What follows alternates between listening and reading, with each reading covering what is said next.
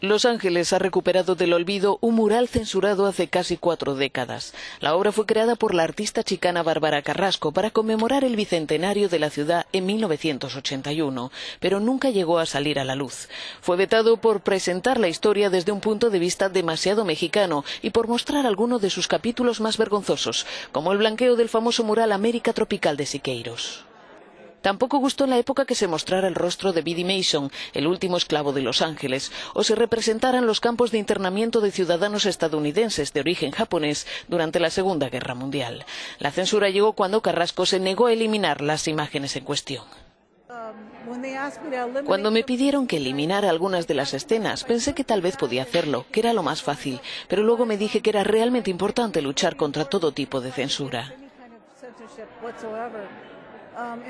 Y sigo pensándolo, en especial con el clima político en el que vivimos ahora. Creo que los artistas deben alzarse y mostrar lo que está ocurriendo.